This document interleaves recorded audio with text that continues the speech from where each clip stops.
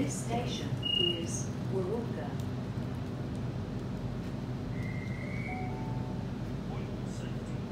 Doors closing. Please stand clear.